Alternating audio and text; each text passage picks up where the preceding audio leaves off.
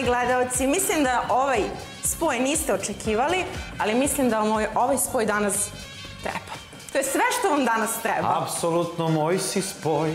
Apsolutno tvoj sam broj. Znam da ne znam da pevam, ali evo. Kao... Nije, baš je bilo odlično slušati te ovih par sekundi. Ovu jednu rečenicu što si izrecitovala. Jeste, jeste. I mogu ti reći, sjajno si zvučao. Dobar dan, poštovani gledalci, dobro došli u još jedno. Dobar dan, poštovani Savine. Izdanje emisije, dva, možda tri, četvrtak je, ne znam koji je datum, ali nije ni bitno, bliži se kraj.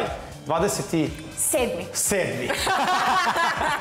27. Vidiš kako sam kolegijalna, ne dam ja tebe.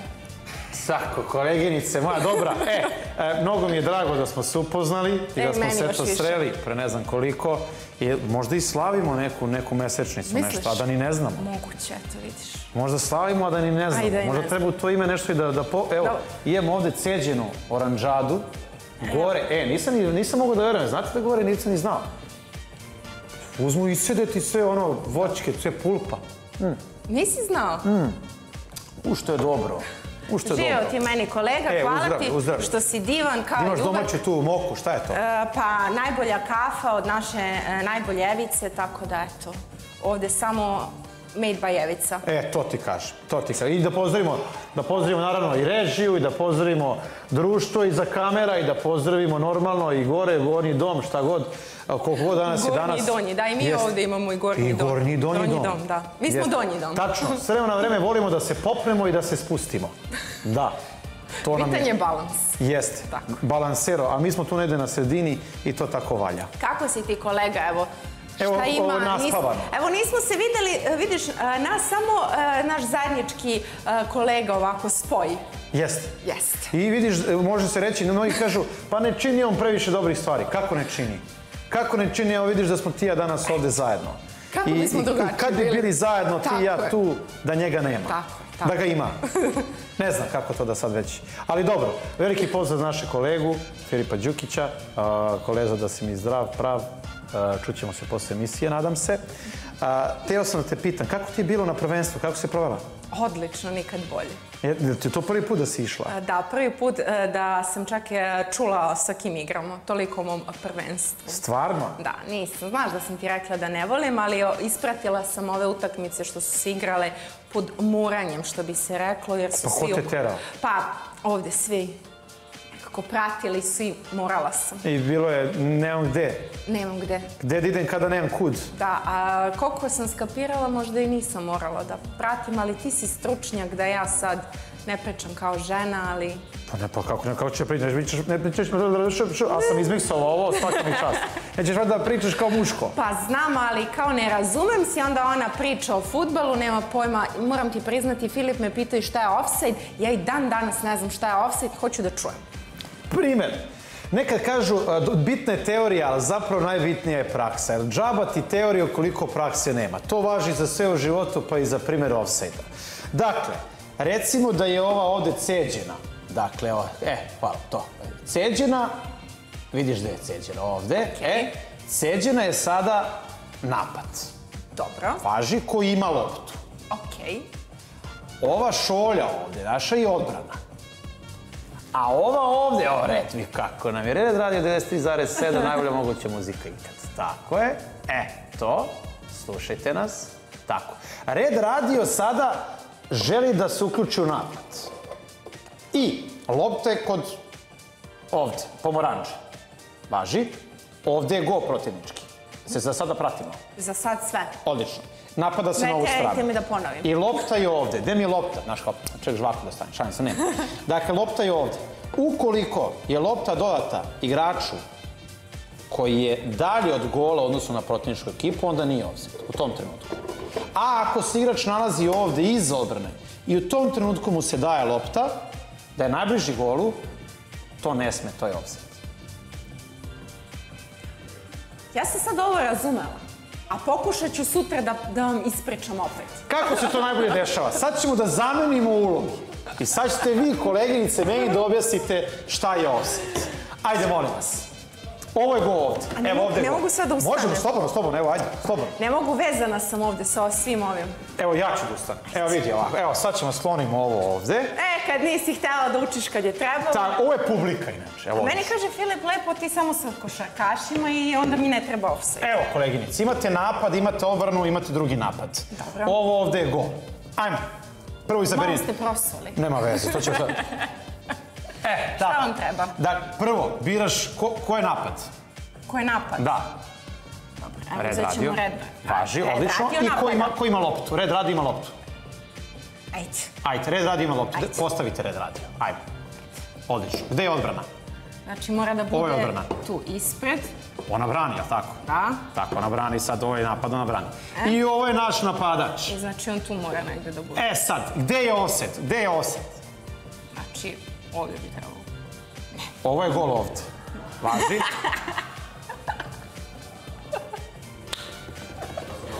Dobro.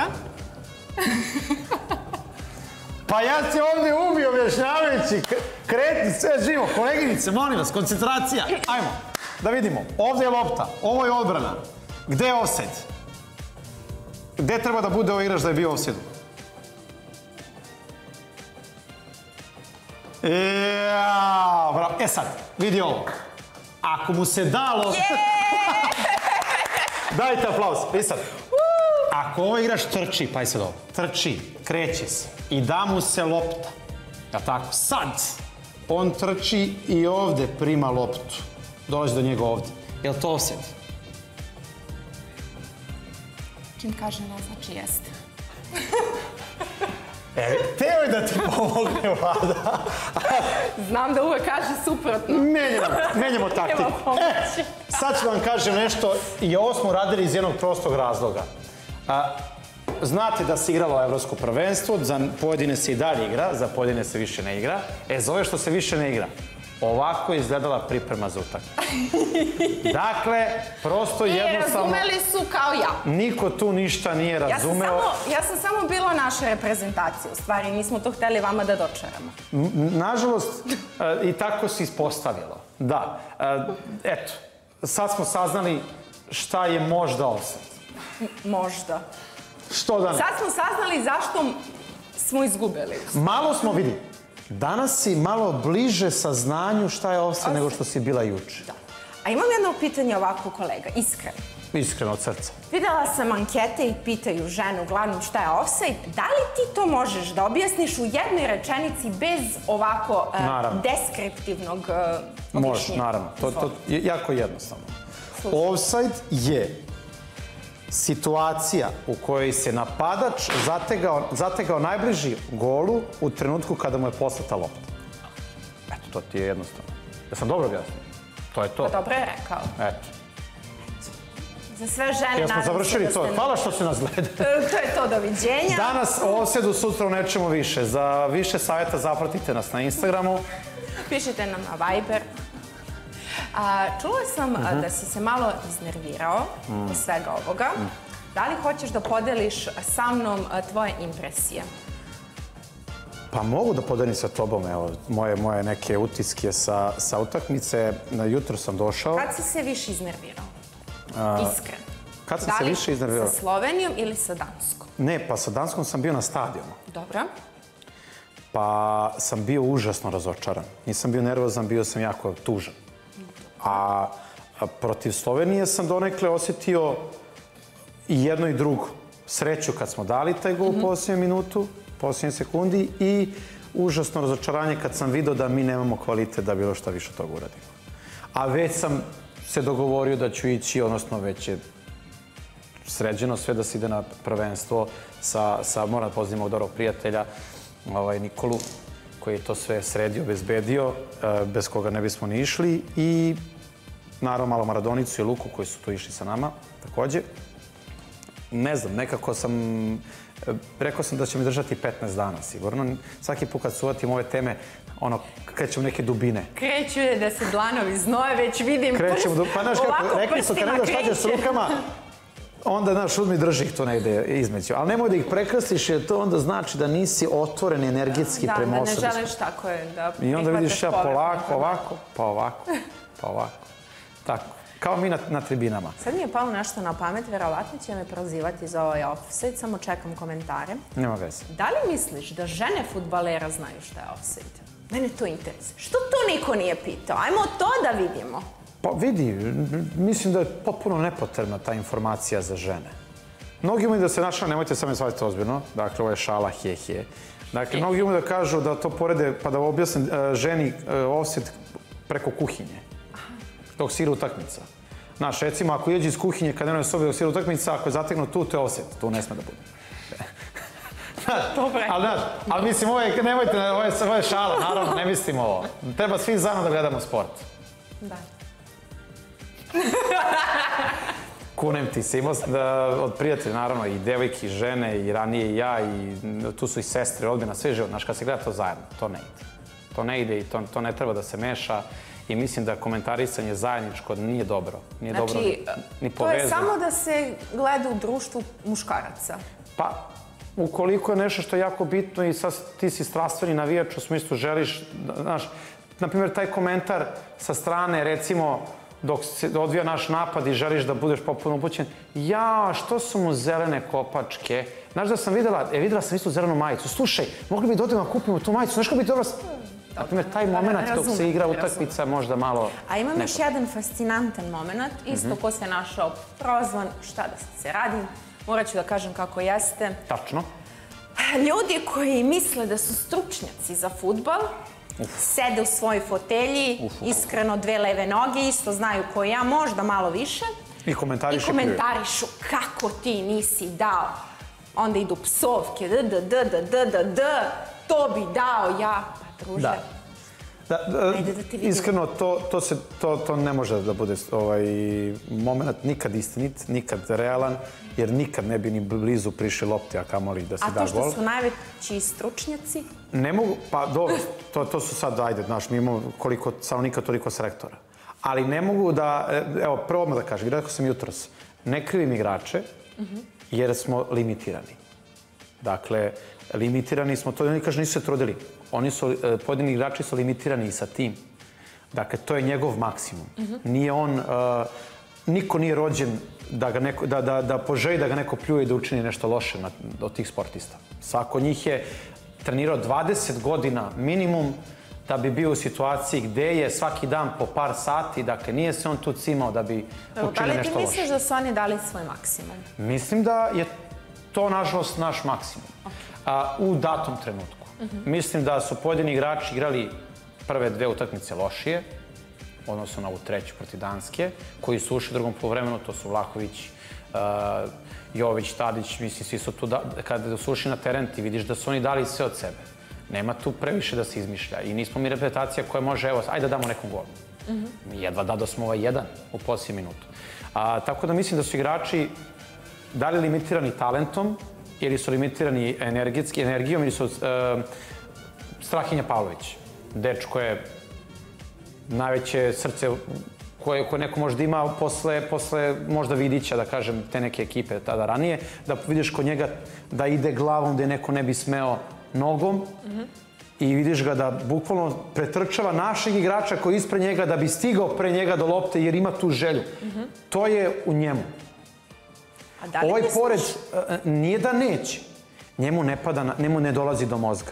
Imam jedno pitanje isto. E, mnogo se komentariše futbal i košarka i sad meni je bliža košarka, to stvarno volim da pratim.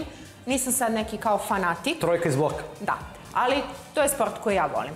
E, više se komentariše koliko su košarkaši složni, pa imamo prilike da vidimo kad Bogdanović ode kod Jokića, nekako održava se taj timski duh. A znamo što je bilo skoro na onom prvenstvu, da li je to neko sa nekim bio, da li je možda i to problem sa našim futbalerima što tim kao tim nije složen? Mm, ne verujem, ne verujem, na šta mislim? Mislim da, a, o, pro, na šta je to problem? Ovde je pet igrača plus pet, ovde je 11 plus 15, mnogo je, znaš, 100 ljudi, 100 čudi, kilava deca, babice i tako dalje. Mislim da je, što se tiče, što je više ljudi, to je već verovatnoće da neko nije dobar sa nekim. to je sasvim normalno, to bilo u kom kolektivu da postoji. Ako ste vas društvo troje, četvoro, mislim da možete da se bolje slažete ako dođe još šestoro. Petoro će biti super, ovaj šesti ako je jedan.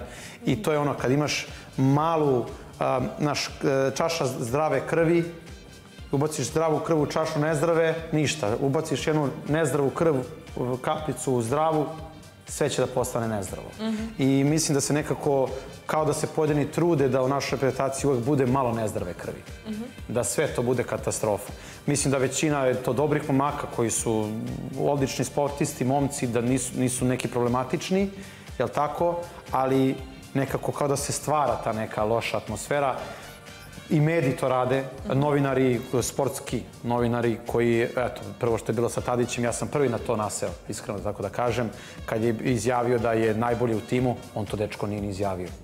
Dakle, niko, ni, nije, on je izjavio da je najspremniji mm -hmm. i da, pošto je, to se odnosilo na njegov odnos između uh, Pixija i njega, jer je Pixi rekao, ne, bit ćeš na klupi da bi te čuvao za drugo povreme da uđeš svež.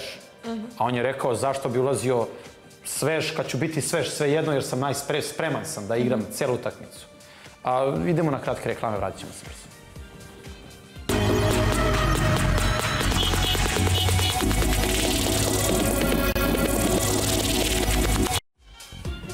Kolega, prekinuli smo vas u pola rečenice. Molim vas, nastavite. Nema veze, gledani smo, reklame su tu, bit će šuške, bit će kinte, iće se na more negde, tako da Voli samo pare, moje duši napače. Da, pa pogotovo ja. Uopšte se nismo navezali. Ma, ma ne, ja sam ti materijalista, ono teže. E, slušaj, šta sam te da kažem? Da, da završimo priču vezano za sport i za, za futbal. Evo, vidi kako sam se utupila. Vidi kako te gledam. Da remiziramo, kao što i jesmo.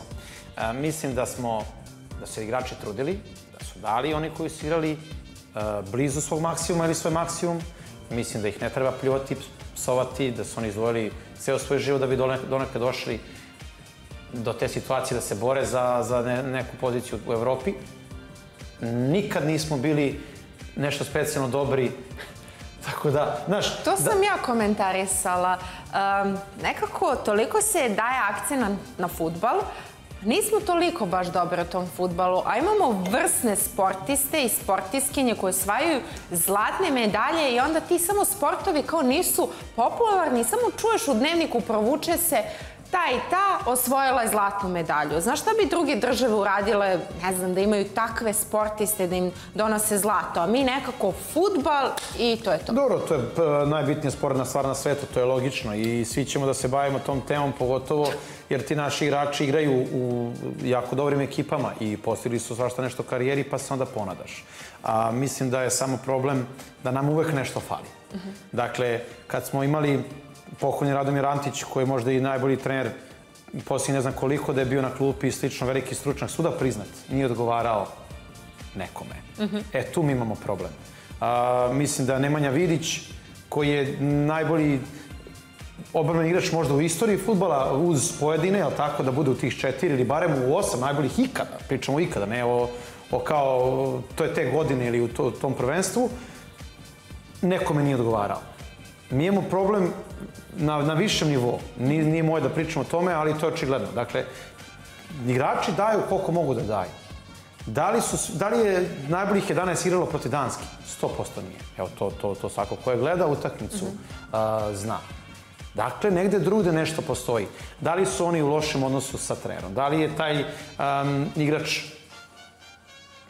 mora da igra, ne mora da igra? To je već sad pitanje. Da li oni međusobni igrači kad znaju da nekom možda treba da igra umesto drugog, pa možda i njima nije sve jedno i kaže, prijatelj, želim da dam svoj maksimum, igra nas 9 od 11, ne igra još dvojica koje treba, znaš. Mm -hmm. I tu se stvara već loša atmosfera ili neka loša energija i govori se, pa što bi ja sad trčao ako Ne mora. Da, i onda dolazi do tog momenta i mislim da nama uvijek fali uh, to nešto da, da, bi, da bi bilo što ostvarili, a m, to neće, neće biti skoro šta kažete, sat je isteklo. Isteklo da, vreme. Na ovim našim satovima vreme je isteklo. Vreme je isteklo za sport, izvinjavam se ako sam nekoga, ali to je to. Bilo je lepo u Nemačkoj, atmosfera sjajna, nijedan incident, to moram da kažem, naši navijači su bili sjajni, navijali smo, nije bilo incidenta, navijali smo zajedno sa danskim navijačima, pevali smo njihove pesme, oni naše, svi smo bili zajedno, Eto, šetali zajedno Konačno u metrou, ka stadionu, na stadionu, dakle,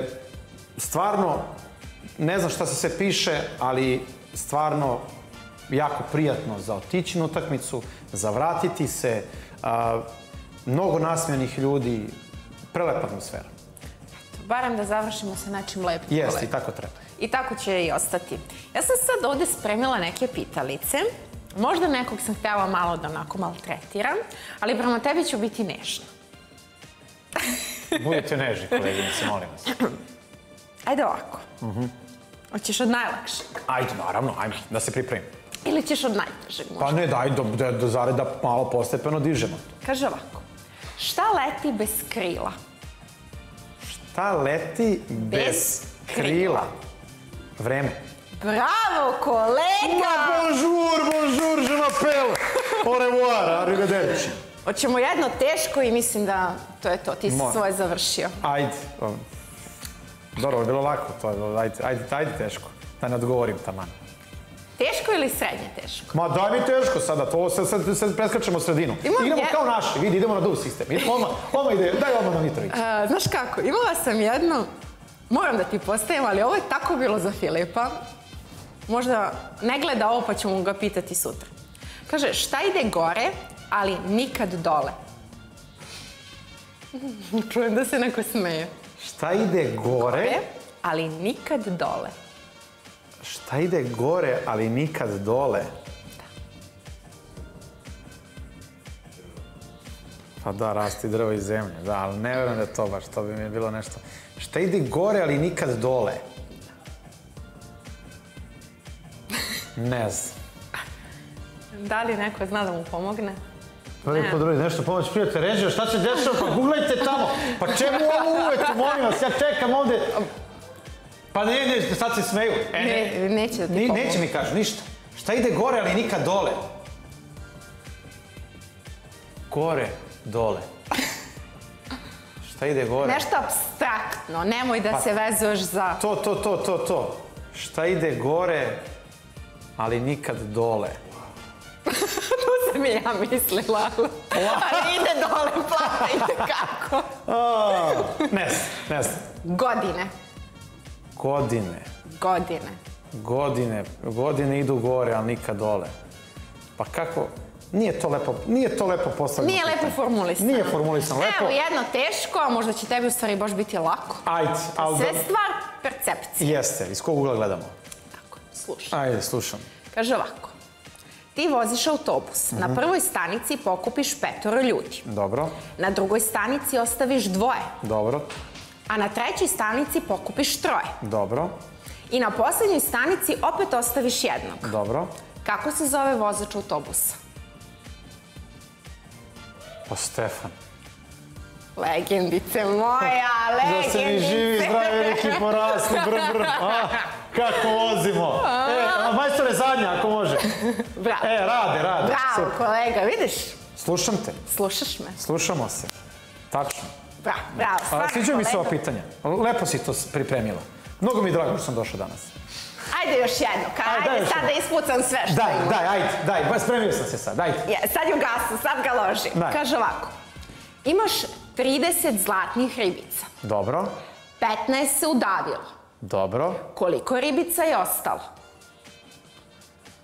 15, imam 30, 15 se udavilo, koliko je ostalo? Pa 30, sve su to ne plutaju kad se udave. Pa to ti kažem, ribica ne može se udavi. To je sve to. su tu, To je to. jel tako? Jer ih Ribica ima ne- 30. Ribica ne može da se udavi. Pa dobro, ali ima ih 30. To je pitanje. Vaš konačan odgovor je... Pa 30 ih ima. Jeste? Ja, htjela sam da ga zbunim. Pa dobro, to je to. To je to. E, možete nam pisati u komentaru na mailu. Šalim se, pišite nam da neke ovako, neke zagonetke. To je, sviđa mi se ovo. Da. Šta ti e, misliš da mi odemo e, da najavimo našeg muzičkog gosta? A najbolje, ja to volim da radim sa pesmom. Odlično. Odlično. Eto, idemo na pesmu i onda nam se gost pridružuje u studiju. Nadamo se da je vama mega mega. Nama Ovo lice sigurno prepoznajete Pinkove zvezdice, onda Pinkove zvezde. Petar Bulatović sa nama, mega mega prva pesma i Mega. Odmah mega. Odmah mega. Ali na početku moram da te ispravim, nije Pinkove zvezda, nego Zvezda grada. Zvezde grada, izvinjavam se. Ali ovaj, tako je, nova pjesma Mega Mega, eto, drago mi je što sam tu danas sa vama. I vidio sam sad malo prije kad sam dolazio da ste neka pitanja postavljali, pa nadam se da nećete meni jer mi se mozak razmiju. Nećemo, nemoj da se plašiš. Razmišljam. Nemoj da Ne, vrišiš da to da se koleginica za mene. Ovo je Nemojte samo za mene, kolegu. molim vas. Ne, ne, to se mi malo šalimo, malo se zanimamo Naravno. dok nemamo nikog pa da se malo ovaj, družimo. Nešto Reci- si se uplašio, bit ćemo, Da, ne bre, daleko od blagi. toga, nego, nego se šali malo. A, e, mogu ti reći, stvarno ulazi odmah u ovo. Pesma, evo, prvi put sam je čuo. I jako, jako je mega. Ja, stvarno, bez šalac. Da, pa hvala ti puno, drago mi je ako ti se sviđa i bila je poenta da tako reaguju ljudi, tako da eto, valjda, valjda sam ubao pravu priču. Ajde da sad nekako sve ti je sveže. Prva pesma, kakav je osjećaj? Imaš prilike da vidiš svoj spot, znaš da je izašla, ali dalje radi euforija. Verujem da si je preslušao milion puta u studiju. Yes. Pa onako stojala je gotova kod autora i kod mene jedno mjesec dana sigurno i u tom periodu sam baš puno puta i pogledao i poslušao, pa sad kad izašla i ne toliko.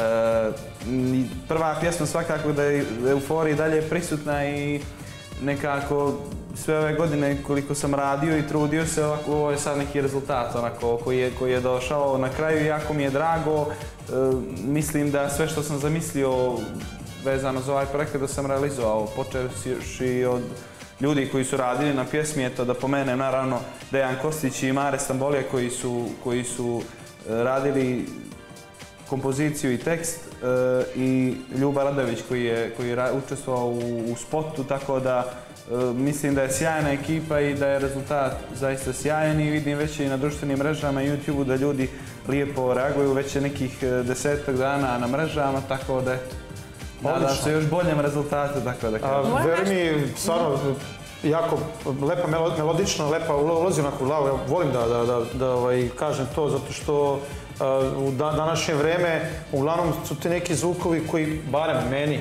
nisu nešto primamljivi, a to su e, sedi dole, kreni tamo, priđi, hodi, skini bodi, znaš. A ovo je nekako, ima neku, ovaj, mislim, pesma je pesma, prava pesma. Ima priču i tekst, a i spot ima jako lijepu priču ko onako se skoncentriše, može da, da, da otkriju stvari koja je poenta spota i, i, i eto sad dok je išli komentarisali smo i to. E, spot je rađen u Crnoj Gori zbog čega mi je također jako drago na, na puno lokacija i tih nekih dva, tri dana koliko smo snimali, e, baš smo onako ostavili, ostavili srce ispred kamera, tako da kažem. Znači ti možeš sada da kažeš tvoj prvi projekat, apsolutno si zadovoljan. Ovo te pitam jer želim da čujem odgovor, jer kad prođe nekoliko godina, znaš kako pevači kažu, pa prva pesma, moglo je to bolje, ipak nisam znao. Da li ćeš e, misliti da si dao sve od sebe i nećeš se kajati? Pa neću se kajati u smislu da sam dao sve od sebe, a ne znam šta će biti za, za, za nekoliko godina, ali trenutno mislim da sam, kada sam, kada sam sjedio sa, sa autorima prije, prije realizacije, ono što sam njima prenio jer je pjesma rađena konkretno za mene, oni su to sproveli u djelo, tako da ja sam zaista zadovoljan i naravno ne bih ušao u nešto što mislim da nije adekvatno za mene. Mhm. E, prva pesma, ali ovaj, kao sad kada kaže, pa će biti zadovoljan, pa možda sad, ako pogledaš za 5-10 godina, može najbolje da imaš ja samo još bolje, još bolje pesme, pa da kažeš, dobro, možda i nešto jeste fali, ali tako. Pa ako će on biti nezadovoljan, kakve će onda biti te E, to ti kažem, to. Eto, to je bitno, da jeste. izvučeš iz toga. Tako da, eto, neka bude na taj način da gledamo. Šta, kako sad gledaš da ne da si zamišljao ćeš imati svoju pesmu u nekom trenutku, tako to je sad ostvarilo. A, kakvi su sad tvoji utisci? Jel imaš još nešto u planu? Jel si sa ovom godinom sa ovom pesmom zadovoljan? Jel čekaš da vidiš kako će ona proći ili već imaš za naredni godinu dve nešto u, u planu što će izaći? Pa mislim da rijetko ko planira za godinu, dvije unaprijed, mislim da je to veliki period, ali e, trenutno sam koncentrisan zaista na ovom projektu i da ga izguram na pravi način. E, plan mi je da, da onako prezentujem ljudima ovu pjesmu jer mislim da, da može da dopre do njih. A što se tiče nekih narednih planova, naravno da neću se zaustaviti na ovome, vidjet ćemo i da li će biti možda još jedna pjesma. Mislim da je rano o tome da pričam za ovu godinu, tako? Ovaj, ima vremena i za to svakako svirke, nastupi, dolje Crna Gora, ovaj, kod nas je ljetnja sezona, svi znate jako. Je počela već uveliko, tako? Pa onako, već se zagrijava i zahuktava, tako da kažem i nekih par mjeseci ovih ću se posvetiti svakako tome, tako da o tom potom vidit ćemo šta će biti. Jel imaš- Zvezde? Mhm, Izvolite, izvolite, kolega. Slavo, ne, ne, slobodno, slobodno. Koje godine si se takmičio u Zvezdama Grand? Ne ove zadnje, nego sezonu prije. Sad ne znam, to je prije dvije godine nekih, tako dođe, sam, sam krenuo u takmičenje. I šta se... pitanje? Htjela sam da te pitam Ajde. da li si ispratio s obzirom da je evo dve nedelje prošlo od e, finala, kako se tebi čini, kako te sećanje e, veže za takmičenje? Pa mislim da je ova sezona bila sjajna, puno dobrih kandidata i sezone u sezonu zaista e, se tamo pojavljuje puno ljudi koji su vrhunski pjevači.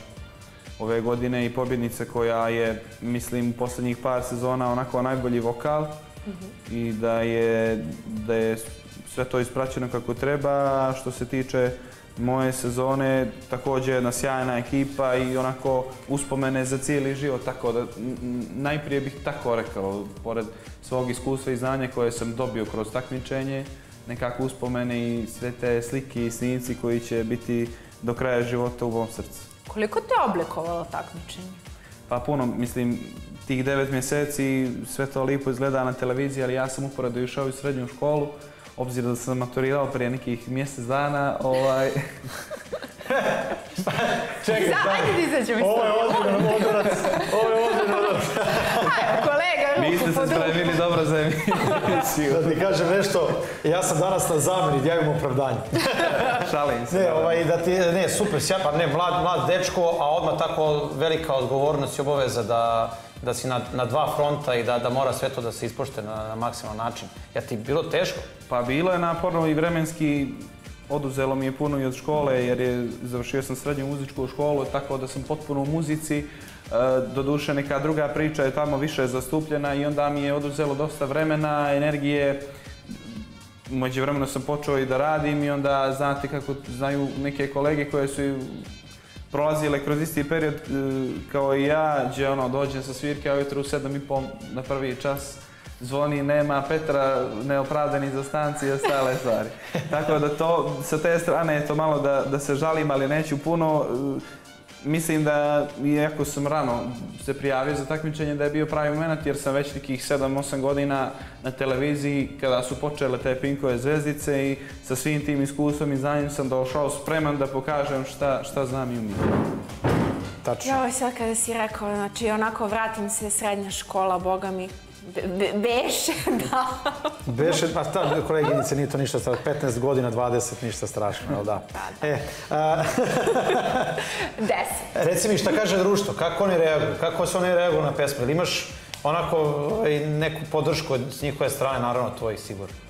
Naravno, pa porodice onako koja je uvijek tu svih ovih godina. A Što se tiče društva, pa super su, super su reakcije. Mislim da se pjesma uklapa u taj neki senzibilitet i mojih godina i, i, i, i muzika i, i, i, i, i cijeli aranžman i, i ovaj spot koji je nekako je prikladno generalno i godinama, i, a i opet je u, u trendu. E, društvo, društvo je uvijek tu, naravno nemam neki sad veliki broj prijatelja, tako da kažem, mislim da ih jako generalno malo u životu, ali i oni su... Rano si shvatio tu lekciju. Pa dobro, mislim, to su sve ljudi s kojima se ja i od osnovne škole družim i moji podgoričani koji su onako stvarno uvijek uz mene i, i mada i ekipa iz srednje škole i, i iz grada što se kaže su stvarno Korektno. nisam naišao na loše reakcije u smislu uh, uvijek su, uvijek su pozitivno nastrojeni prema meni, tako da kažem. To je lepo čuti. To je lepo. Kolega, mi moramo da ispoštujemo EPP, firmu da, moramo i da da odemo na. EPP. Pa da.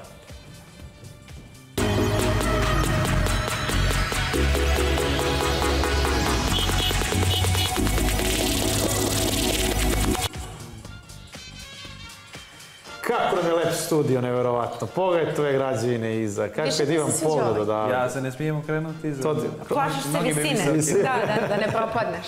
da, mogu ti reći, a, visoko smo, ovaj, na visokoj poziciji smo ovdje u Kolega, studiju. moram samo da iskoristim priliku da te pitam da li ti više odgovara ovaj studio ili onaj e, pređašnji?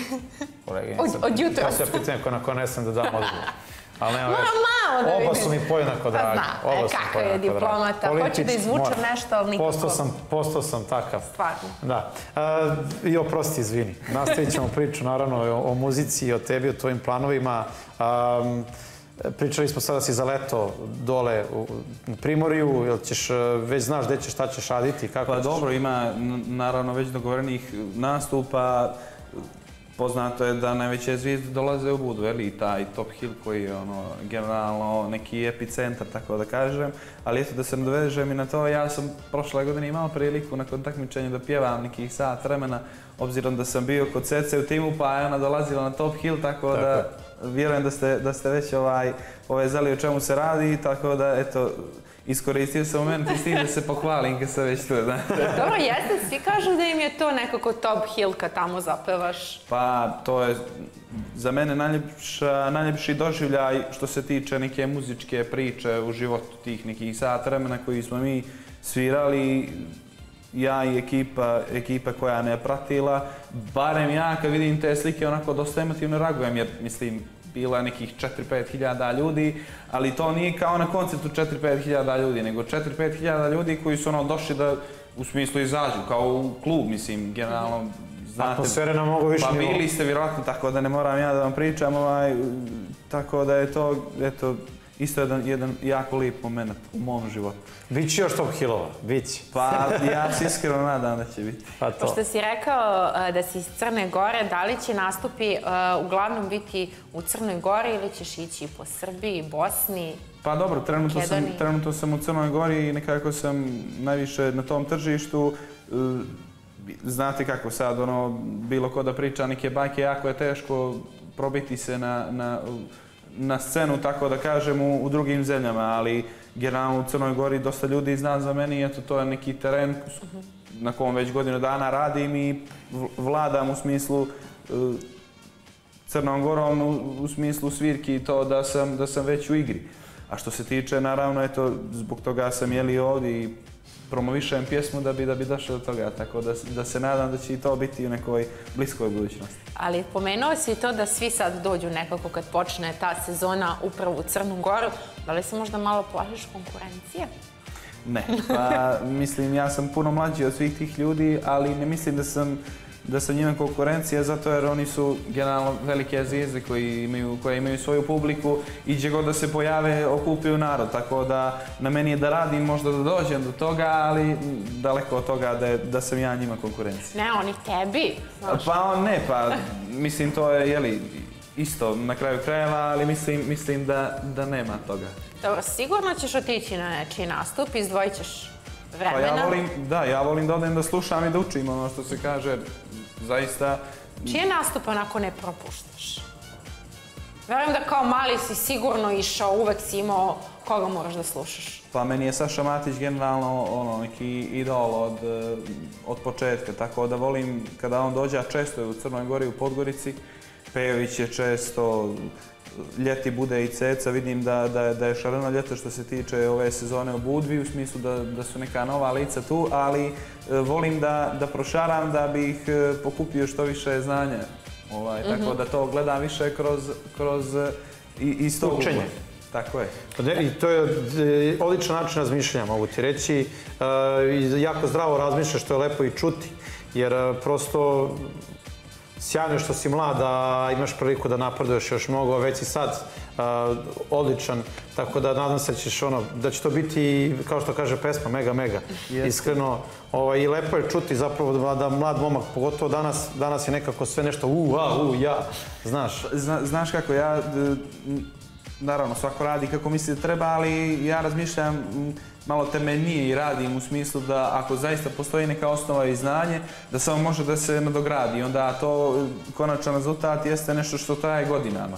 Nije ono kao sad na prvu, iako sam vjerojatno mnogim ljudima novi koji trenutno gledaju ili prate, rekao se da sam već na televiziji sedam godina sigurno, a što se tiče ovog dijela, iako sam i završio nižu i srednju muzičku školu, mislim da još treba da se izgrađujem kao muzičar, pa volim, zato sam i rekao da volim da odem i da učim. Često dolazi Željko Šašić, eto da pomenem, ili Mirza, koji je, Mirza Selimović koji je sjajan momak Jest. i volio bih ovom prilikom i javno da ga pozdravim jer skoro smo zajedno pjevali, odnosno ja sam bio prije njega, prije njegovog nastupa u jednom lokalu u Podgorici i eto, imao sam situaciju sa njimi prije nekih pola godine, ali i sad opet gdje me, gdje me pozvao zajedno pjevamo par pjesama, tako da su to gestovi starih kolega koje nama puno znače Tako i koji nama ostaju u sjećanju, tako da eto, žel- želio sam i to da pomenem. S obzirom da si završio um, i srednju muzičku, da li planiraš možda i neko fakultetsko obrazovanje što se tiče muzike ili ne? Tako je, pa imam ideje, to neće biti muzička akademija jer nisam previše verziran prema klasičnoj muzici koja se obrađuje na, na akademijama, ali svakako m, imam ideju u muzičkoj produkciji jer mislim da to mogu da uskladim sa ovim e, čime se bavim. Mislim da je to jedna super ideja, samo je pitanje onog momenta hoću li se, jer opet treba da se zagrije stolica jer nisam neki lik bilo šta e, da uzme da radi u životu, a da ne bude ono čim, e, čemu ću se posvetiti. Jer Da mislim da bi, da bi suprotno bilo samo gubljenje vremena Tačno. i jeli, i novca, vi znate koliko nije, kakva su danas vremena. Tako da, m, eto, još sam vagam i čekam neki pravi moment gdje ću ono reći sam sebi sad je taj moment pa i da, da, da sebe nadogradim i sa, s dodatnim znanjem. Stvarno, svaka čast i mi volimo ovdje da skrenemo koliko je stvarno bitno da se mladi ljudi obrazuju. Naravno da fakultet nije sve, postoje toliko ljudi što su napravili van serijske karijere u svom domenu posla da nisu imali obrazovanje, ali ako možete da nadogradite sebe, uvek sam za to. Tako je, pa to je svakako plus i nešto, neki, neka alternativa u životu ili nešto što može dodatno da nam znači i duhovno, jeli, a i onako sa znanjem, jer opet nije loše imati fakultetsko obrazovanje. A znači sebe Bilo vidiš kao neko ko bi se bavio muzikom i samo muzikom. Pa naravno, mislim da, da, da teško da ću imati drugi poziv u životu zato jer sam e, od sedme godine u muzici najveći dio svog života sam uložio i znam da će biti sad jedino je pitanje na kom je li nivou ili u, u kojoj sferi tačno. Eto, E, vjerujem da će biti pjevanje jer sam se u muzici tome najviše posvetio i, i tu priču guram, ali naravno jer sviram i klavir i gitaru i e, onako obrađujem muziku e, na neki dublji način, tako da kažem. Ja se nadam da ću imati priliku ovaj, da te u skorije vreme slušamo uživo, da li kroz gitaricu, klavir ili ovako čisto da, da malo i mi uživamo. Dakle, bit će mi zadovoljstvo. Ovaj, te, želimo ti da, da to bude za vreme leta onako baš a, Udarno. lepo, da bude udarno, da se osjetiš barem kao u Top Hillu, da, da bude atmosfera sjajna i da, da, ovaj, da to polako stepen po stepen na- napreduje ka, ka, ka nečem više. Pa hvala vam na, na lijepim željama i eto da će Bog, nadam se ja.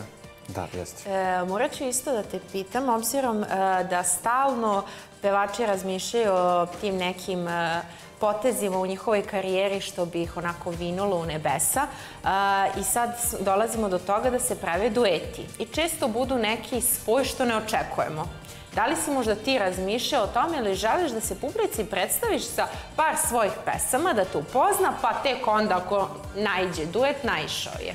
Pa mislim da je ovo druga bolja ideja da bi ljudi upamtili mene kao, kao ono, jeli, solo, solo igrač. E, ali opet to su neke stvari koje vode timovi ljudi koji su, koji su na tom nivou ideje, marketing, e, u vremenu smo hiperprodukcije gdje je potrebno onako smišljati iz dana u dan nove stvari da bi se ostalo u centru pažnje jer je zapravo to e, najvažnije. Tako da ne bježim od bilo čega, ali u ovom momentu mislim da bih se radije verzirao ovaj, nekim solo pjesmama. Spomenuo si i hiperprodukciju. Da li ti kao mladi umetnik, muzičar, uspevaš da preslušaš sve što izađe? Evo, ja moram da ti kažem lično, ja ne slušam. Nema znači, kako uđem na YouTube, znači to se trending samo se menja. Ne. Non stop nešto novo. Evo, poslednja tri meseca, ja ne znam šta je ovo. Pa tako je, sad kreće ova ljetnja sezona i period je objavljivanja i pjesama i albuma.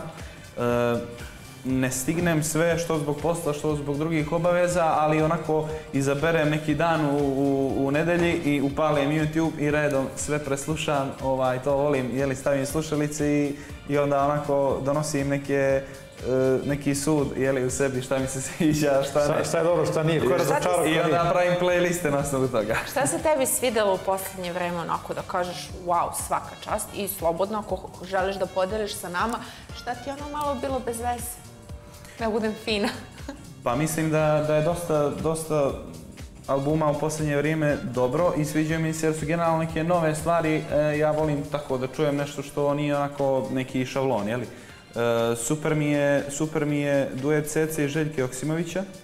Mislim da je pjesma jako kvalitetna. Pejovićev album mi je također jako dobar. E, Ajde sad, zaboravit ću nekoga jer, jer je stvarno puno, puno, Dosta izba- ja sam puno izbačio toga, dosta stvari. ali o, opet vidim da neki autori čiji ja rad poštujem da to uglavnom bude, bude jako dobro. Moram sada napravim digresiju, spomenuo si Cecu i Željka, I, a Ceca i Vojaž.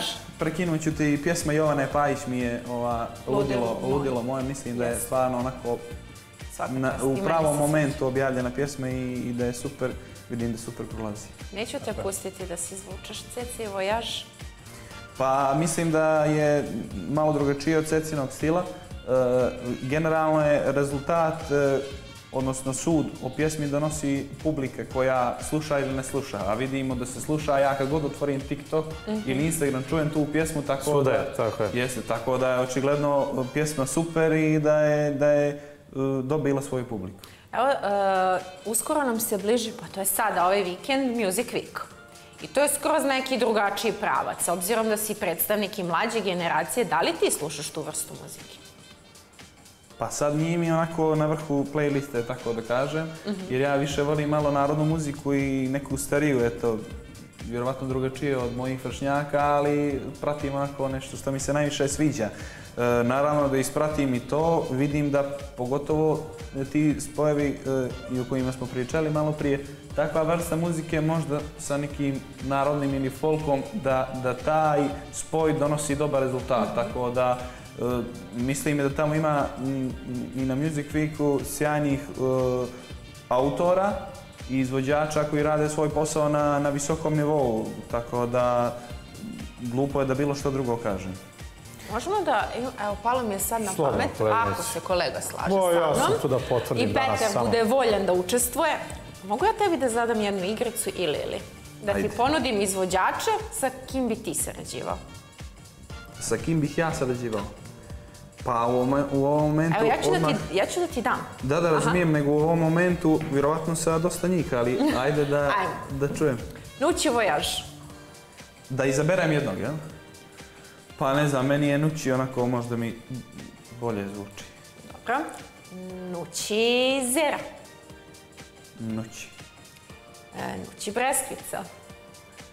Pa ajde Breskvica da bude muško-ženski duel.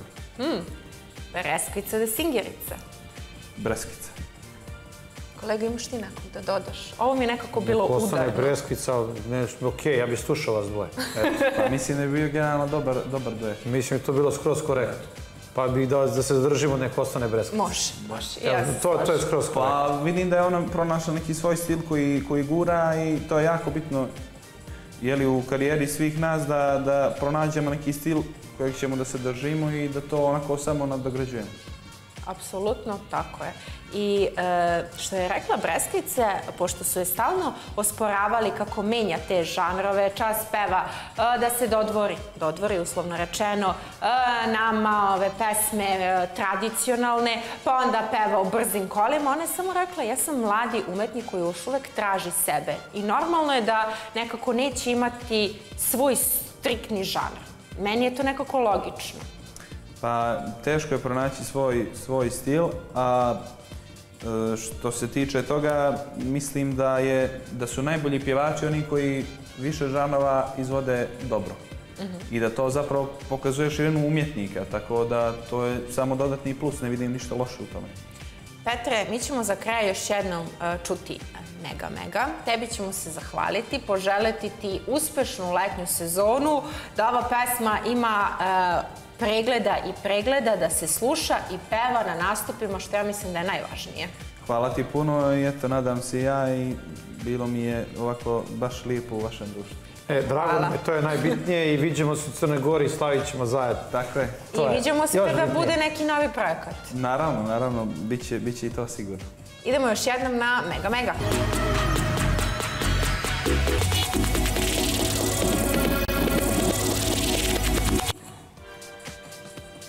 A, kreni, lepo si krenuo da pevaš malo pre. Opet mi, šta sam vam peo? Mama mia. Here I go again, mama, how can I resist you?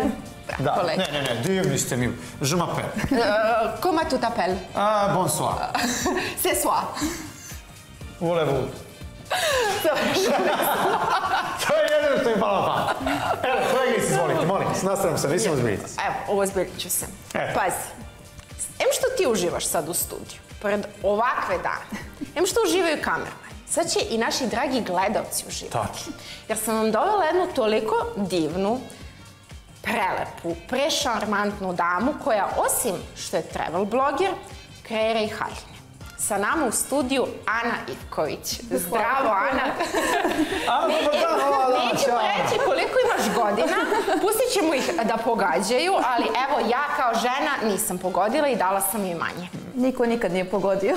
Eto, A, mi ćemo reći e, kako si Ana, da li si dobro? na srpskom. Da, a, bonjour. Dobar dan. Dobar dan, dobar dan. Ja, sve kako valja, sve lepo. Jeste, malo umorno danas, ali dobro. Niko nije kao naš kolega, to ćeš priznati, ipak je ovdje se, rekorder. Molim lepo. Ali to Pet- se ne da 50 primetiti. Fali mi Ne, samo ne. 15 godina na licu. Znaš, kao. A stvarno ne primećuje ti se, ja da nisam spavala koliko, 50 sati? da, jes, Skoro da, malo- 50 malo pre. sati, ja bi do sad ko zna gde bila. A, ali to su oni podnašali, to je onaj posljednji trza i izađem iz studije kao glasim usput. Od prilike. Da li se e, puno radi, da li ima posla, da li se putuje, da li se e, vloguje, da li... Da, sve, sve. Kako se stiže sve? Ne znam. Nekako, nekako uspevaš. Da, ali zna da bude baš naporno. A šta je, šta je, šta je teže sada? Misliti e, biti kreativan ili vreme iskoristiti za sve te stvari? E, iskoristiti pravilno vreme. Organizaciju. Da se sve postigne. Da, da. Jel, jel uspevaš? Mislim, jel sad rekla sam Pa malo uvek, mi, uvek nešto mi ostane za sutra. Uvek. Znači, nikad ne, ovaj, ne uspem da u toko dana ovaj, rešim sve obaveze. Evo, rekli smo znači da imaš svoj brand i da putuješ. Šta je ono što tebe onako najviše ispunjava ili je baš to što sve radiš pomalo u biti ono što tebe čini da si ti kompletna ličnost i da ti ispunjava? Volim jako da putujem. To, je, to mi onako pričinjava, pričinjava E, najveće... moći ćemo i da uđemo na tvoj Instagram, Da, može da režija da se spremi. možemo da putujemo. Da, mož, e, podelit ćeš i neke savete, taman je krenula ovako letnja sezona, da nam kažeš par destinacija. Izvini što sam Za te nas koji se nismo još i dalje pri- pripremili i priredili sebi nešto da idemo ovog leta, Tunis je dosta interesantna destinacija ovaj, i najviše su ljudi komentarisali i pisali vezano za Tunis. Da. Jel Tunis sada, e, kažu da je Tunis pristupačniji od Egipta sada je Turski ili, ili, ili su tu negde? Pa ja mislim da su tu negde. Jer mnogo, sad gledam, a, uglavnom da znaš kako spomenu našima kao dećice na more, kao pa gde bude mogao.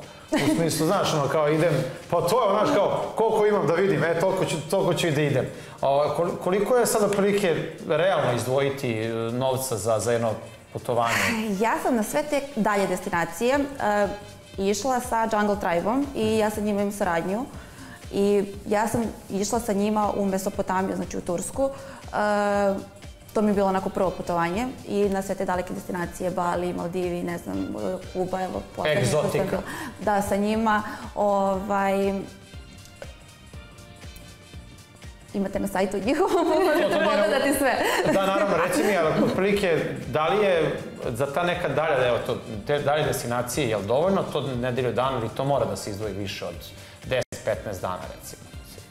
Pa ja mislim da imaju, imaju aranžmani za 7 dana, i za 10 dana, i za 12 dana, kome šta kako odgovara, koliko ko hoće da obilazi, da ide na neke izlete, više manje, tako da stvarno imaju individualno putovanja, tako da to, to može sve da se Jer mnogi kažu kao, de da idem tamo na nedelju dana, ne znaš, hoću da vidim svega i svačega, možda najbolje bilo da, da skupim i vremena i novca, pa da onda idem, ne znam, na, na 15-20 dana da se to obiđe recimo tri nedelje, pa da mogu sve živo da, da, da, da posjetim u tom trenutku. Pa Ako neko ima tri nedelje, ja Svako bih njemu. voljela.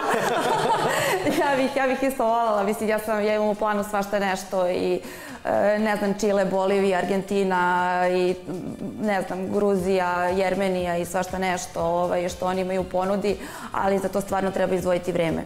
Ali ja moram da budem ovde i onda nekako e, jako mi deluje, e, jako mi dođe naporno kada e, radim e, sa brendom i sve ostalo i onda odem na putovanje i tamo, tamo se nestaje, mislim, idemo s lokacije na lokaciju, slikamo se, e, neko što obiđe, na primjer, za ne znam, e, sedam dana, mi to obiđemo za dva dana. Vi to istročite Da, sve. da, ovaj, bukvalno idemo sa lokacije na lokaciju, slikamo se i tako dalje. Ovaj, I onda kad se vratim, onda moram da nadoknadim svih tih, ne znam, 7-12 dana ovaj, koliko nisam bila tu. Evo ovde, ja sam vrtela, imali smo prilike da vidimo uh, Kubu. Kako je tvoje iskustvo sa Kube? Ja sam te pitala i za vreme reklama da li je istina da stvarno onako po rafovima uh, nemaju namernice i da su ograničeni i ti si mi rekla za onaj spisak. Molim te podeli sa našim gledalcima. Da, ovaj, oni, pa mislim, jedno od siromašnijih e, zemalja, Uh, oni imaju papir gde svaki uh, ukućanin ima koliko jaja, mleka, brašna može da potroši mesečno i to je to. Ukoliko imaju malo dete, na primjer, u kući, tada imaju dozvoljeno više mleka i to mleka u prahu. To je I ono nema slatkiša. Da, nema. Ima slatkiša e, u radnjama gde samo turisti, na primjer, mogu da kupe posebnim karticama. E, Mislim, ja sam prosto volim njihovu kulturu i volim njihovu istoriju, učio sam o tome i povezan sam na neki način i kroz posao godinama bio ovaj, sa Kubom. A, postoji onaj film, ne znam da li si gledala Sedam dana ne, na, na Kubi a, sa Kusturicom, a, gde prikazuju svaki dan po na osob, onako drugačiju priču, potpuno kao da je sedam različitih a, filmova i priča i onako na jedan malo jeziva i možda i istinit način prikazuju, prikazuju Kubu. Jel se promenilo sada nešto? Ne znam da li su počeli, pošto nisam imao priliku da, da idem, da li su počeli da ubacuju te neke a, stvari sa zapada ili je dalje onako zatvoreno što je to? Zatvoreno je, mi kad smo bili, nama su rekli da se tamo bukvalno situacija menja iz dana u dan. Nešto što je važilo juče ne mora da znači da će da važi i danas i da od kada je bilo korona njima turizam ide nizbrdo. A ko je najveći kulturološki šok, na primjer, koji si ti doživjela u nekoj zemlji? Definitivno Kuba. Mislim, ja sam bila i drugim ru- ruralnim zemljama, ove, bila sam, ne znam, na Baliju, nisu oni isto nešto ovaj, posebno bolji, ali Kuba definitivno. Njihov mentalitet, način života, način ishrane, sve, sve, sve, sve. Imena, imena pesme, izvini, pe- salsa pesma koja peva um, Skatić u prevodu pesma ide Pogledaj me mama sada, ima mobilni telefon koji je sada glavni baja. E, bukvalno nemaju, odnosno taj koji ima u tom trenutku mobilni da može da pozove nekoga je to je wow njima bilo u tom trenutku da prosto neko ima da priušti sebi razgovor Jest. preko, preko mobilnog telefona, pričamo o tom nekom Pa oni su internet dobili, nemojte da me držite za reče, 2013. godine. I baš kad smo se vozili kabrioletima, ovaj, e, rekli su nam da oni sipaju da li dizel, benzin, šta god, samo da nešto, da nekako ide auto. znači, nema, nema pravila. E, Ovaj, ide šta god onda da auto. nađe, oni to da. Da, šta, šta im prvo padne pod ruku? Da. Da, da, eto, ne, da se ne žalimo posle. dakle, nemojte mi pričati svašta, molim vas. A, kao, ali oni imaju more, oni imaju okean, odnosno tamo. More je nestvarno. nešto. Da. Znači, Kakva je voda? Prelepa, lepše nego na Maldivima. Plaža, more, priroda, nestvarno lepa. Da li koriste oni to, znači onako? Nekako treba. Pa verovatno nije mene to, da, živ turizma, to nije razvijeno, razvijeno, na na način taj kako način. trebalo, da. Tamo ni hotel, na primjer, sa 3, 4, 5 zvezdica nije hotel sa toliko Da, zvezdica. jasno. Jasno, jasno. Da. I obično nekako ljudi koji žive na okeanu, na moru, redko kad ti njih vidiš da oni odu na plažu, nekako njima je to... Da. A dok mi koji... Ili idete u šumu, kolegin se šetnete? Idem. Pa idu i oni na more, razumeš, prođe, odu i oni malo se brcnu, plaku se sad kao lepo vreme. Pa nisu alergični na sol. Pa nisu, ali ne u potpunosti kao ljudi koji e, žive u zemljama koje nemaju more. Zato oni igraju, igraju rumbu, igraju salsu tamo na ulicama. Ili postoji to, jesi vidjela da, Da, da, jesi da. malo učestvovala, jesi? Jesam, malo. Kako se Ovaj, činilo? Mnogo su veseli. Da, mnogo su veseli i e, u bilo koje piće oni dodaju rum. Kokos može sa rumom, ovo može sve. Jogurt, rum. To sam htjela da te pitam, da li su oni, e, vidiš tu sreću u njima? Obično kad kažu te nekako siromašnije zemlje, jesu, fali njim, internet im je falio i mobilni telefon, ne znam, neke zemlje u Africi nemaju ni vodu, a kaže narod je srećan. Pa ne bih baš rekla da su ovaj, srećni. Ja mislim da su oni itekako, pogotovo kada, su, kada imaju internet svesni ovaj, u kakvim uslovima žive. I sad njima je, ne znam, situacija u u zemlji malo zbog Amerike teža. Jeste. Ovaj, ali da su ves- veseli i onako srdačni da bi pomogli, da. Mislim da su oni postali manje srećni onog trenutka kad mi je došao internet i su možda počeli da gledaju neke druge stvari. Mislim da što nam više daš, mi smo nesrećniji zapravo, a ne... I što više imamo ponudi, mi bismo sada sve, pa i onda kad vidimo još nešto, onda bismo i to, onda nam i ovo malo. Tako da mislim da ti ljudi koji malo imaju, mislim da su srećni, bogati su više duhovno i, i ovaj, ispunjeni to nekom ljubavju nego što ih materijalno čini srećnim. I što smo više na internetu, mislim da materijalno sve više prelazi u, u prvobitno. Ana, šta je tebi, na primjer, najbitnije kada odeš na neku destinaciju? Da li uvek odeš pripremljena, da želim da vidim to, to, to, ne znam, e, ući ću, na primjer, ima devojaka koja jedva čekaju da idu po radnjama. Šta onako ti najviše voliš kada odeš na jedno putovanje? Da li je to da vidiš kakvi su ljudi, da li je kultura, da li su spomenici, znamenitosti? Ja u radnju ne ulazim uopšte. Ni ja isto. Ovaj, e, ja u radnju stvarno ne ulazim uopšte. Ja volim da sa svakog putovanja ponesem magnet i neku figuru. Ovaj, a, ja obožavam da idem po muzejima, po ne znam, mestima, zna, šta god oni imaju u toj državi, ja to volim da vidim, da ne znam. E, volim da probam različitu hranu. Tako da, eto, to, to bi bilo... Ali radnje, ok, ako baš imam vremena i sve ostalo, a uglavnom se nema vremena za to. Tako da, Koja ti se kuhinja najviše, na primjer, svidela gde si bila na putovanju? A, mislim, zemlje koje su u Evropi ne mogu da se porede ni sa jednom drugom zemljom na nekom drugom kontinentu. Tako da, eto, na primjer, zemlje Evrope su mi ok sa hranom.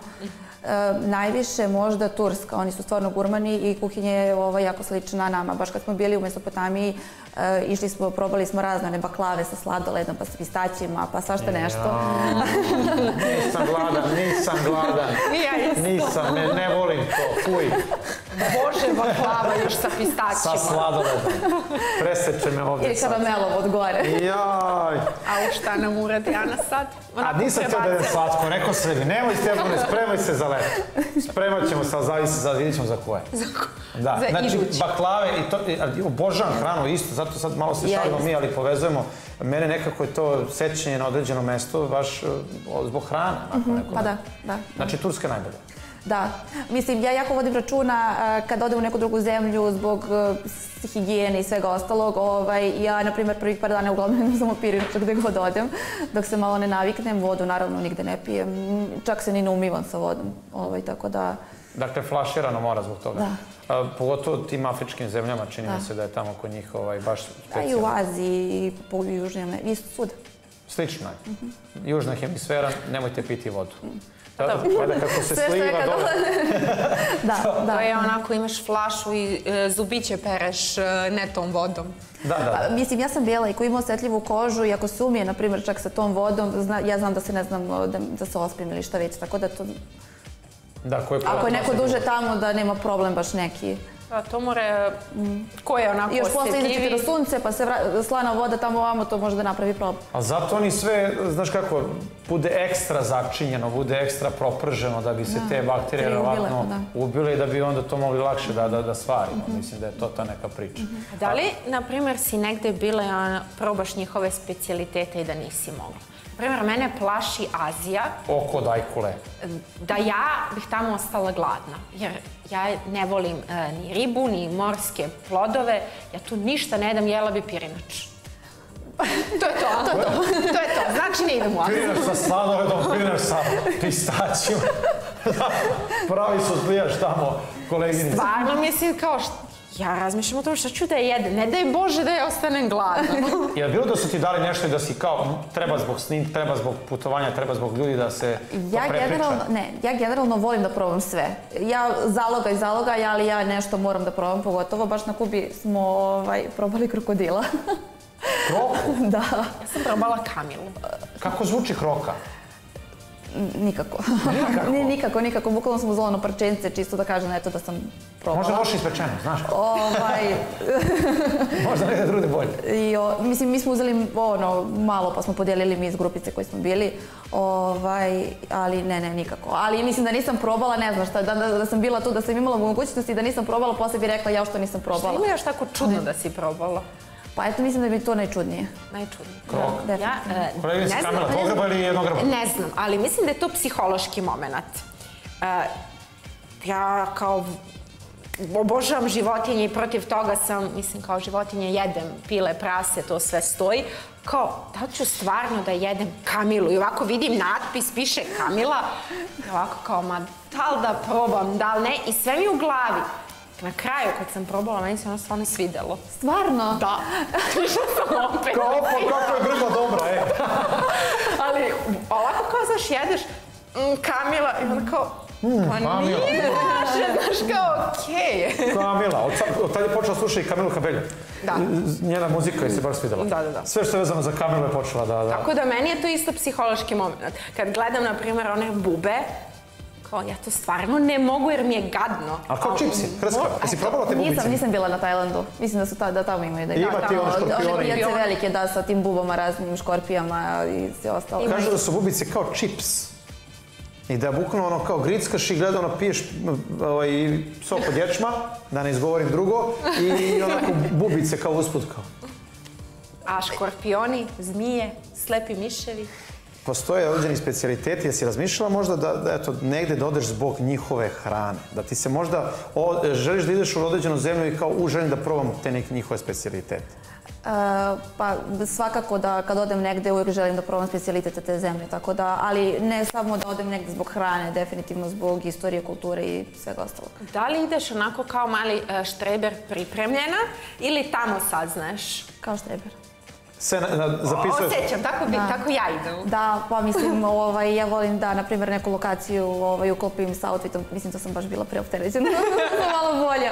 Da, sad sam se malo pustila. Ovaj, jer nekad se desi, na primjer, da ne znam, dođem ujutru, bude sunce, ne može da ispadne slika kako treba, a mi se nikad više nećemo vratiti možda na tu lokaciju i onda sam odustala od savršene fotke. Tako da, jer čak ni fotkama mojim na Instagramu nisam zadovoljna. Ne znam. Uvijek može bolje. Da li smo sad postali nekako i opterećeni baš zbog tog Instagrama, zbog te savršene fotografije? Više nema da ja vidim nekog, ne, evo, bila sam sad u Rimu pa mi je to najsvežije, da stani kao ovako gleda Koloseum i da razmišlja kako je to napravljeno, e, da su tu bili gladijatori, da su se borili. Ne, svi gledaju ovako, koji je ugao, 0,5, 0,3, pa malo is... Znači, vidim da stvarno 0,5, smo svi 0,3, pa postali opterećeni time, kao da imaš, jer nebitno što si ti tu i što ti uživaš, bitno je da Žika vidi da si ti tu. Pa dobro, postoja se slika iz više razloga, jel da? A ti uglavnom postojaš slike da bi prikazala ljudima zapravo neku svoju priču i, i mesto gdje si Setite bila. se naše ekskurzije, pre ono imaš onaj mali fotoaparat, škljocneš par puta i ono gledaš kako a sad, opterećeni Baš mi smo mama svi. kaže šta bi radila da su oni stari fotoaparati, da trebaš da se vratiš sta puta pa da razviješ film. Da, Tako da ni ne znaš kako si ispala na slici. Pa onda pogrešno se film razvije, pa preseče preko, pa pola slika ima onu crtu, znaš, onak. Ajde, slika se sto puta i posle trebam samo sto fotografija ispred. Dok, ja, dok ja to izaberem, nemam više ni živaca, ni ničega. Zato smo mi jednostavno, jednostavni. Slika se, ono šiška mi ovde bleji ovako, Neki razumeš? muškarci su gori. Šta mi fali, evo pogledaj. Veruj mi, kolega, neki muškarci su gori. Veruj mi. Nisi lepo slikala, nije dobar ugao. Ajde još malo da mi slikaš. Ajde još malo. Ja, evo, Čisto da imam. Evo, moram da vam To ispričam. muškarci rade. Kako ne? Slušaj, nap- malo tu šišku, kolega. malo A daj to vamo, vidiš da smo se namestili. Ispred e, fontane di Trevi. Tamo je gužva e, od 5 ujutru do 3 uveče. I svi hoće tu savršenu sliku. Neko je dobije, neko ne. I sad čeka se red da se to nekako malo raziđe ili jednostavno ti razilaziš sam ljude. Onako je malo pomeri se. Jedan dečko se slikao, ljudi, kunem vam se 20 minuta. I ja sad već krećem. Kad ćeš više, to je poza ovako na očare. A šta ti stalno zauzeti kosica, Šta, zauzeti mesto? 20 minuta sam slika i sad ja ovako se... Malo je falilo da kažem nešto drugo.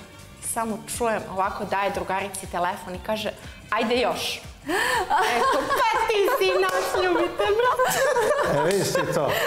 Meni je najdraže, iz- evo, da, da, ako mogu da kažem, najdraže je bilo kod te fontane di trevi da, kad niko nije slikao.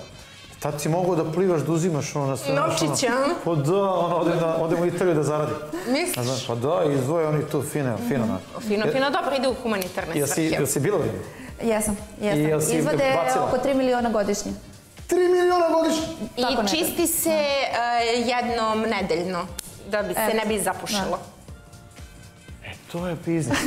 Ovo je odlična ideja. Slušajte, mi ovdje imamo dvorište prostora za jednu fontanu. Razumete? Svakako dođe... Ali Vidi, mnogi su to sad... Mi ćemo crevo da provučemo ovako, to će biti fontana di crevi, razumeš? Provučemo crevo jedno, ubacimo unutra i pap, izvolite, za sreću. Ajmo, i za...